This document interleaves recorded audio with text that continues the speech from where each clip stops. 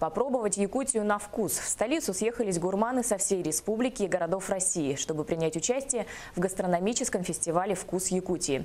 Оценивали работы местных поваров, независимые эксперты и рестораторы. Отведала шедевры кулинарного искусства и моя коллега Розалия Борисова.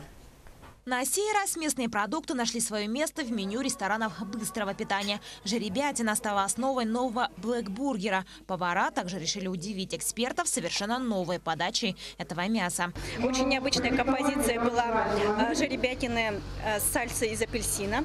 Это э, на сегодняшний день, я считаю, большой прогресс в использовании технологий и современной подачи блюд из нашей местной продукции. Удивить сочетанием японской, итальянской, мексиканской кухни с якутской решили уже в другом ресторане. Пицца с соусом саламат, тако с хатта и жеребятины, салат цезарь с сырой жеребятиной – лишь малая часть большой композиции артодайду. А, Урол из карася. Ну, карась у нас как бы сам, сама нежная рыба. И получается я туда еще подчеркнул, добавил туда креметты.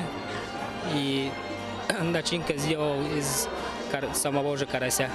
Оценивались гастрономические блюда согласно классическим критериям. Внешний вид, использование национальных продуктов, стиль подачи. Однако независимые эксперты имели свои критерии. Я как профессиональный человек в первую очередь буду смотреть. Смог бы, например, я это блюдо использовать в собственном ресторане, взяли бы у меня его. То есть стали бы у меня гости его брать. Значит, если они станут брать, значит, получается, оно востребовано. Вот я вот это это на собственных ощущениях.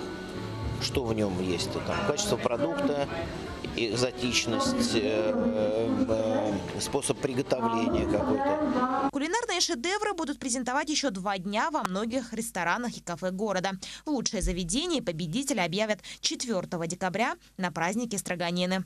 Розалия Борисова, Иван Подойницын, Владимир Таюрский, НВК Саха, Якутск.